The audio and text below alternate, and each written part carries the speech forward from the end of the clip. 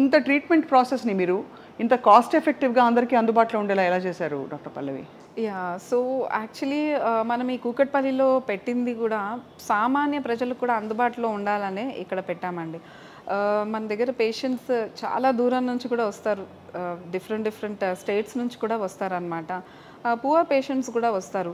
C ఈ నొప్పి అనేది ఎంత బాధాకరమైనదంటే అసలు కొంచెం ఒక్కరోజన్నా నొప్పి తగ్గితే బాగుండు అని అనుకుంటారు పేషెంట్స్.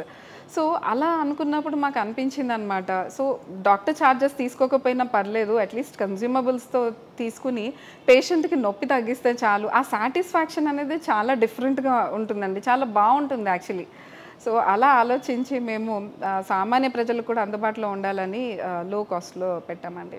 అంటే అడగచ్చా అండి? అసలు మామూలుగా ఎలా ఉంటాయి ట్రీట్మెంట్ కాస్ట్ అని? సర్జరీలో దాంట్లో just fraction of the cost అసలు ముందు అసలు మోకాలు సర్జరీ అంటేనే నరకం కదండి. ఒక కొన్ని నెలలు పడుతుంది by the time they come out of all that and if you can avoid that surgery అవసరం లేని పరిస్థితుల్లో ఆ స్టేజ్లో మన నొప్పులు ఉండి మనం మేనేజ్ చేయగలిగితే అంతకంటే ఏం కావాలి లైఫ్లో సో అందుకే అవేర్నెస్ అనేది వెరీ ఇంపార్టెంట్ అండి. అంటే పేషెంట్ రావడమే మన దగ్గరికి అసలు వీల్ చైర్ బౌండ్ పేషెంట్ వచ్చి ఆ, నొప్పి తగ్గించాలి అంటే అది పాసిబిలిటీ లేదు ఆపరేషన్ లేకుండా. అందుకే అర్లీ స్టేజెస్లో గాన వస్తే పేషెంట్కి చాలా ఎక్సలెంట్ రిజల్ట్స్ ఇవ్వచ్చు అనమాట ఎందుకనంటే ఈ డీజనరేషన్ అనేది ఒక కంటిన్యూస్ ప్రాసెస్ అంటే పేషెంట్ గ్రేడ్ వన్లో ఉంటే గ్రేడ్ టూకి వెళ్తారు గ్రేడ్ టూ నుంచి గ్రేడ్ త్రీకి వెళ్తారు గ్రేడ్ త్రీ నుంచి గ్రేడ్ ఫోర్కి వెళ్తారు. ఎందుకు? వయసు ఎలా వస్తుందో అలాగే అరుగుదల అనేది కూడా ఒక కంటిన్యూస్ ప్రాసెస్ దీనికి స్టాప్ చేయాలి అంటే only PRP can do it అనమాట ఒకటేనండి. అంటే మనకి నొప్పి వస్తే కానీ మనం స్పందించం కదా మన బాడీకి. నొప్పి లేకుండా మరి అరుగుదల స్టార్ట్ అయిందో లేదో ఎలా తెలుస్తుంది ముందస్తుగా? మీరు ఎవ్రీ ఇయర్ హెల్త్ చెకప్స్ చేయించుకుంటారండి. రకరకాల బ్లడ్ టెస్ట్లు చేయించుకుంటారు అల్ట్రాసౌండ్లు అన్నీ చేయించుకుంటారు. కానీ ఒక standing x-ray knee joint AP lateral view. At least ఒక ఫార్టీ ఇయర్స్ దాటిన వాళ్ళు అయినా సరే ఎవ్రీ ఇయర్ ఒక సింపుల్ ఎక్స్రే తీసుకుంటే మీరు గ్రేడ్ వన్ గ్రేడ్ టూలో ముందే ఎర్లీగా డిటెక్ట్ అయిపోతారు. ఎందుకంటే ఆ టైంలో మీకు పెయిన్ ఉండదు. కానీ ఆస్టియాథటిస్ స్టార్ట్ అయిపోయింది. So grade one grade two వాళ్ళకి ఒక ముందే ఒక ఎక్స్రే తీసుకుంటే మనం ఎర్లీగా డయాగ్నోస్ చేయొచ్చు ఇంకా బాగా రీజనరేషన్ చేయొచ్చు వాళ్ళకి.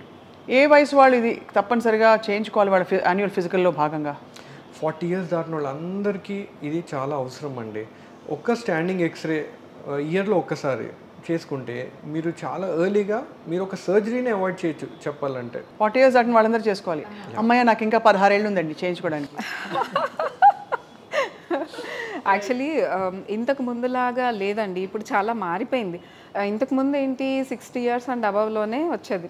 అంటే మన గ్రాండ్ పేరెంట్స్ అయినా సరే సర్జరీకి వెళ్ళిన వెళ్ళారు అని మీకు మాకు చాలా తక్కువ మందికి తెలుసు కదా. అంటే మా గ్రాండ్ పేరెంట్స్ వెళ్ళలేదు. కానీ మా పేరెంట్స్ ఏజ్లో ఉన్న మా అంకుల్స్ అండ్ ఆంట్స్ అందరూ కూడా సర్జరీకి వెళ్ళారు. అంటే జనరేషన్ మారుతున్న కొద్దీ ఏజ్ తగ్గిపోతుంది. ఇప్పుడు మేము కూడా సర్ప్రైజ్ అవుతున్నాం. యాక్చువల్లీ థర్టీస్లో ఫార్టీస్లో పేషెంట్స్ గ్రేడ్ ఫోర్లో వచ్చేస్తున్నారనమాట డైరెక్ట్లీ. అలాంటి పేషెంట్స్ని చూస్తే అప్పుడు అనిపించింది. సో అవేర్నెస్ అనేది లేదు మనకి. అది కానీ మనకి ముందే తెలిసిందనుకోండి ఎర్లీ గ్రేడ్స్లో ఉన్నారని. మనం డెఫినెట్లీ సర్జరీ అవాయిడ్ చేయొచ్చు కదా. చాలా చాలా మంచి పాయింట్ చెప్పారు. ఎందుకంటే ఆ మాత్రం నొప్పులు రావా?